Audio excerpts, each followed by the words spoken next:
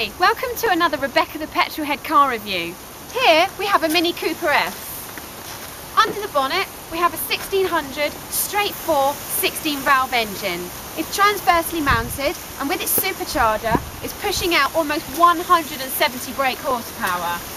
It has sharp styling, gorgeous looking alloy wheels and because of that supercharger the battery has to go in the boot.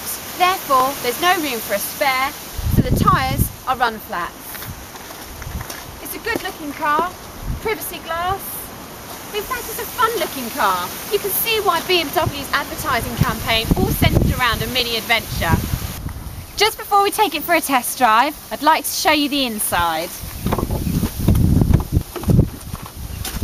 Half leather interior, leather bound steering wheel, side airbags, driver airbag, passenger airbag, you can tell it was made by BMW. It's very good quality.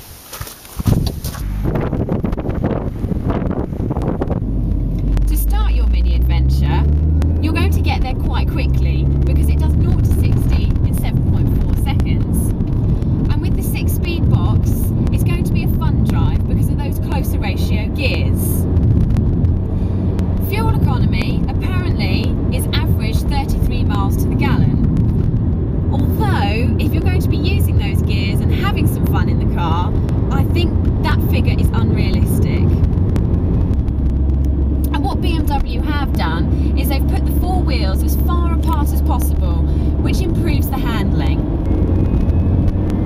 Now, I don't know what the progressive spring rating is on the car, but you do feel every lump and bump on the road. It's not the smoothest car to drive, but having said that, when you're going around corners, you really do appreciate the suspension setup. These cars have come under a little bit of criticism because they're so much bigger than the original Mini that they were apparently styled on. But what you've got to remember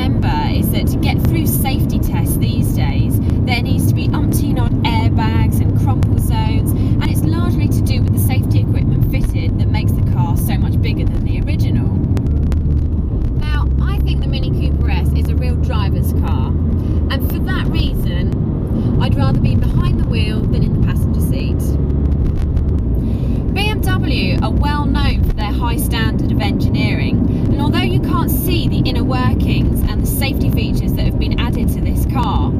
The ABS, the electronic stability program, even the throttle pedal is all electronic.